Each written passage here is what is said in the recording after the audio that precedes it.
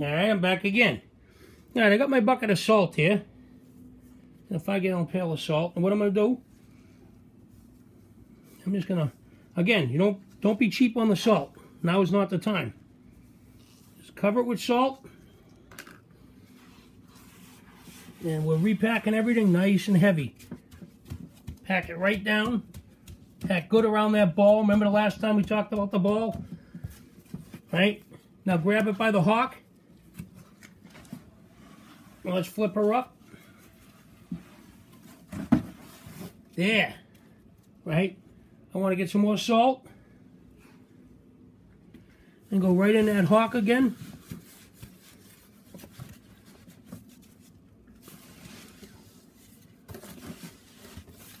Pack it right in that hock. Stuff it right in there. You all the salt over here, don't to keep pulling new salt. If you got salt that's fairly dry, like this stuff, move it right up.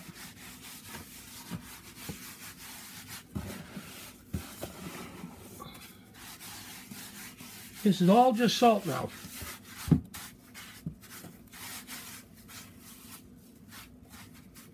Salt right over on that, just like that. Okay. Then I'll jam some more in that hock. Right, see it? Pack it salt right in that hock. Stuffing that hock full. All right, so now that's resalted and flipped.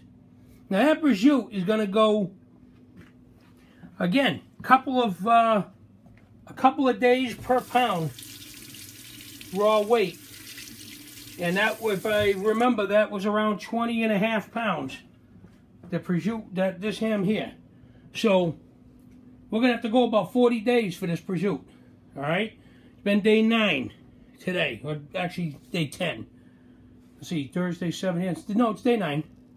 We're, we're, um, we're in the middle of day 9 here. So now I'm going to put that bin back on top of this and continue pressing it. Stick it back in the refrigerator. All right? I'll come back in about two weeks and we'll take another look at it. Okay? I'll see you then. Bye.